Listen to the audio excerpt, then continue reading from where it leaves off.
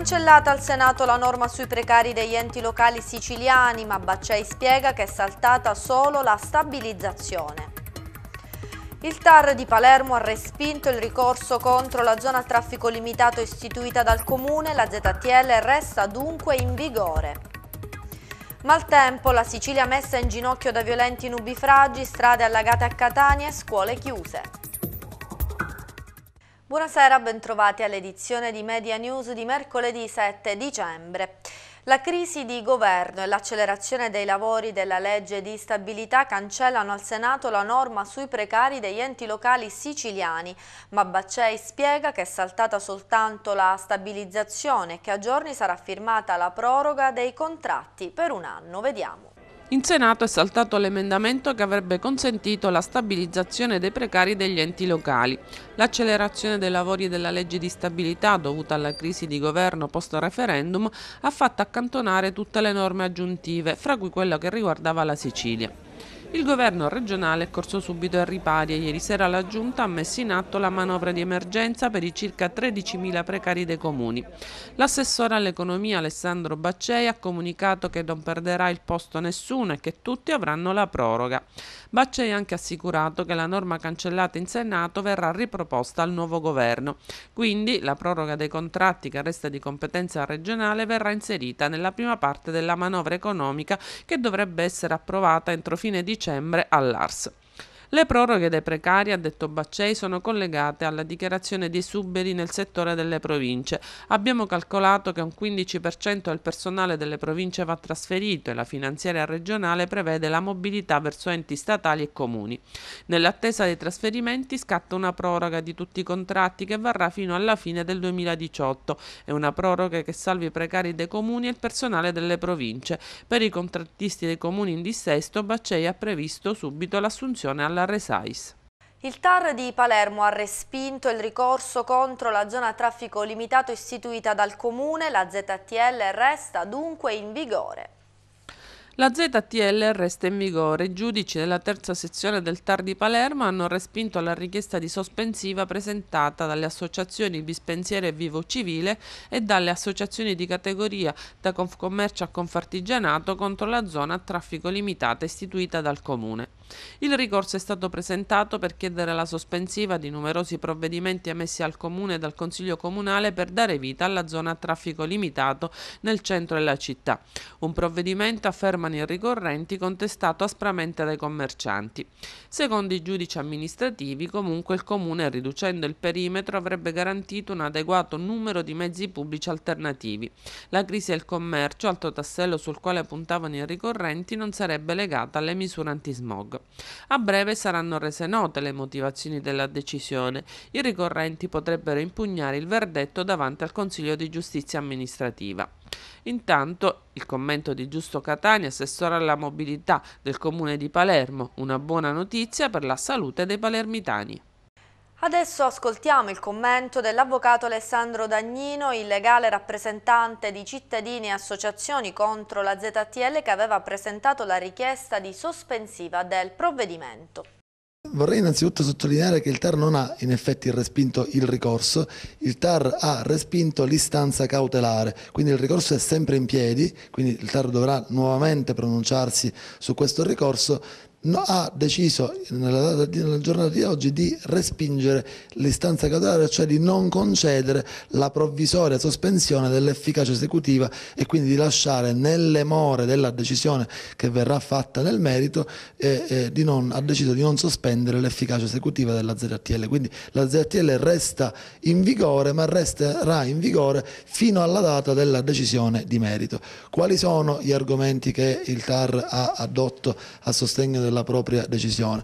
Ha sostanzialmente il TAR ritenuto che alla data odierna, allo Stato, dice testualmente il giudice amministrativo, non risulta adeguatamente provato che il Comune non abbia potenziato il trasporto pubblico locale, quindi non sembrerebbe eh, allo stato dei documenti considerati e della situazione esaminata nella fase eh, del giudizio, nella fase cautelare, non sembrerebbe mancare un adeguato potenziamento del trasporto pubblico locale e quindi una riduzione della mobilità. Questo è il primo pilastro diciamo, su cui si regge la decisione del giudice amministrativo. Il secondo aspetto è che eh, non sembra al eh, TAR che eh, si non si possa trascurare che il Comune in data successiva alla proposizione del ricorso abbia ulteriormente attenuato il rigore del provvedimento sulla questione ZTL interviene anche Marco Stassi, presidente di Adiconsum Palermo Trapani.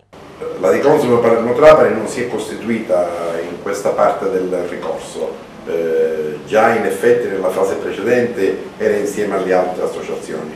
A un certo momento dico ha ritenuto, ed è corretto che sia così, che eh, il, eh, il, sindaco e la giunta e il consiglio comunale eh, prendano sempre più dei provvedimenti che possano andare incontro alle esigenze dei cittadini.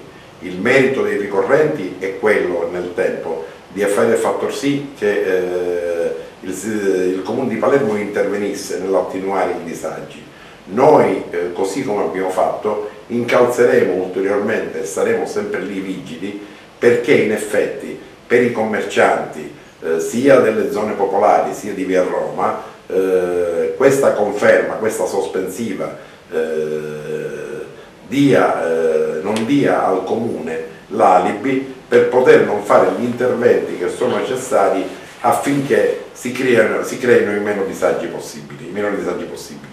Quindi è importante ribadire che non vi è una contrapposizione in questo caso rispetto al provvedimento della ZTL tra chi aveva presentato il ricorso e chi no ma assolutamente perché ritengo che ovviamente andare eh, in, sede, in, sede, giurisdizionale o giudiziaria è ovviamente di una prerogativa che eh, chi eh, la vuole esercitare la esercita. Eh, chiaramente eh, noi non ci troviamo sicuramente in una posizione di contrapposizione, noi ritenevamo e riteniamo, così come abbiamo fatto anche con insistenza presso il Comune di Palermo, che veniva, dovevano essere fatti dei passaggi come revisione dei regolamenti, interventi sui mezzi pubblici, il fatto che il Palermo sia un cantiere e quindi devono essere normalizzate una certa situazione, ma sicuramente alla fine il cittadino, il consumatore, il commerciante va salvaguardato rispetto a questi provvedimenti che hanno come logica in vigore anche in tutta Italia la salvaguardia dell'ambiente.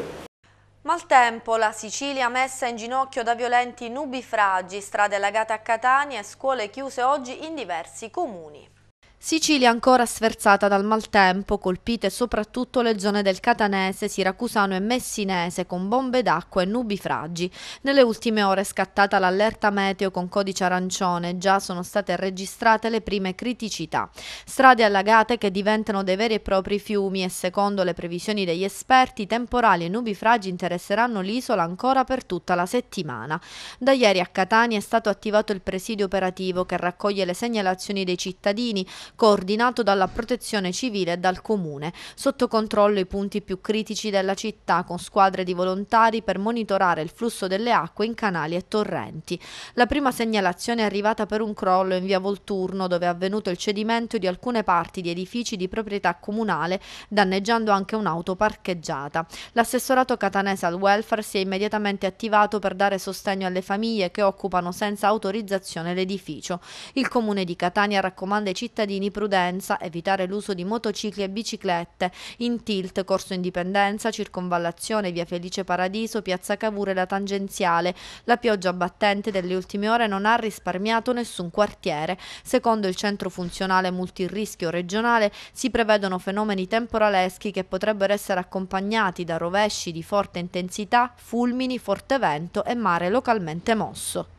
32 anni fa la mafia uccise a Bagheria Pietro Busetta, cognato di Tommaso Buscetta, l'ex boss dei Due Mondi che con le sue confessioni aveva aperto un varco sugli affari e i misteri delle famiglie palermitane. Oggi la commemorazione. è il, il, primo, il, il, primo, momento dopo 32 anni dall'assassino di papà che viene ricordato e, e, tutto quello, e tutto quello che, che, vedete oggi lo devo, lo devo alla, a una grande associazione che è Libera, che mi è stata vicino da, negli ultimi tre anni eh, e che onestamente sono veramente eh, orgoglioso di, di, far parte di questa grandissima famiglia. E grazie a loro oh, sono riuscito ad avere, ad avere questo momento di raccoglimento davanti a quello che è stato l'edificio di mio padre perché mio padre era venuto a Bagheria perché credeva a Bagheria e voleva fare impresa a Bagheria. È uno dei due pilastri su cui si fonda l'azione di Libera. Oltre al tema dei beni confiscati noi siamo impegnati a cercare di ricordare le oltre 900 vittime di mafia che sono cadute come innocenti, quindi non solamente eh, operatori delle forze dell'ordine, magistrati, ma anche persone comuni come la storia che ricordiamo oggi. E il principio che cerchiamo di affermare è che dietro ogni nome, eh, ogni storia di ogni vittima c'è una famiglia famiglia, ci sono dei familiari che si sono visti privati dei loro cari, questo a prescindere dalla rilevanza pubblica di queste eh, persone e quindi il dovere della società civile a nostro avviso è quello nei giorni delle commemorazioni di essere presenti e di ricordare, ma non limitarci a questo, cercare di eh, essere vicini alle famiglie e raccogliere la testimonianza dei familiari come i familiari di Pietro Busetta facendone memoria anche con le scuole, con le giovani generazioni e costruendo attraverso questo un lavoro costante. La comunità bagherese non deve dimenticare, non deve dimenticare che la mafia non è un fenomeno positivo ma è un fenomeno, un fenomeno negativo che crea eh, disoccupazione, che crea povertà nel territorio in tutti i termini, anche in termini valoriali e che soprattutto uccide. Quindi eh, va ricordato che la mafia eh, non lascia segnali positivi nel territorio e la comunità bagherese oggi lo sta ricordando perché eh, Pietro oltre ad essere un imprenditore era anche nonno, era anche padre, era anche marito. E quindi c'è eh, la famiglia che giustamente vuole ricordarlo.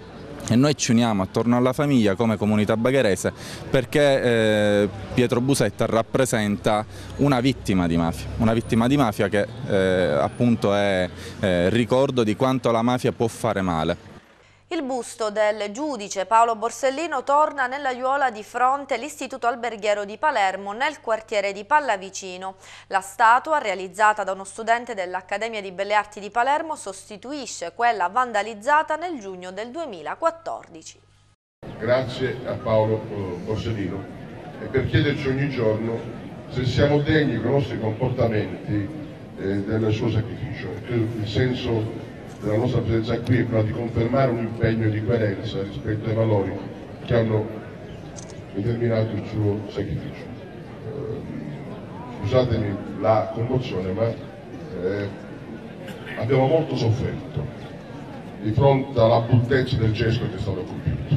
E quindi oggi la commozione è l'arretrato della rabbia di ieri e oggi è diventata invece una commozione di gioia. Eh, grazie.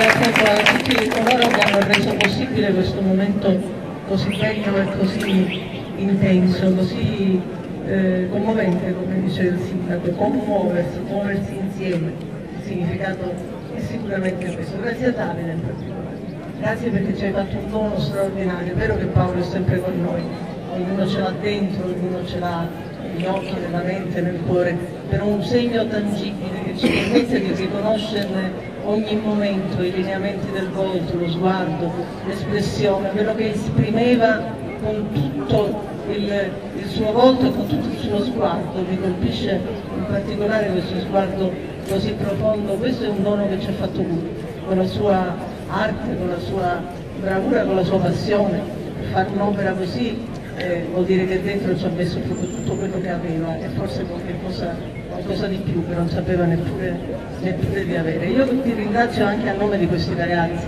Io forse mi illudo, ma vorrei che questa statua di Paolo diventasse un luogo dove la gente venga a trovare Paolo. È così forte l'intensità con cui Davide ha saputo rappresentare proprio gli occhi di Paolo, proprio il viso di Paolo, proprio il sorriso di Paolo, che io vorrei che questo luogo diventasse un luogo di pellegrinaggio per Palermo, dove proprio in questa piazza bellissima come Palermo voleva che, Paolo voleva che diventasse Palermo e come diventerà Palermo.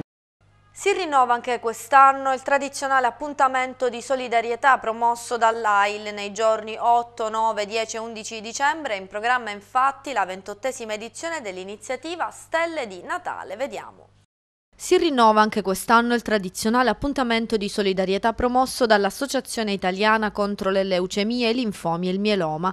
Nei giorni 8, 9, 10 e 11 dicembre in programma la ventottesima edizione di Stelle di Natale AIL, posta sotto l'alto patronato del Presidente della Repubblica. La manifestazione è realizzata grazie all'impegno di migliaia di volontari che offriranno una piantina natalizia a chi verserà un contributo minimo associativo di 12 euro.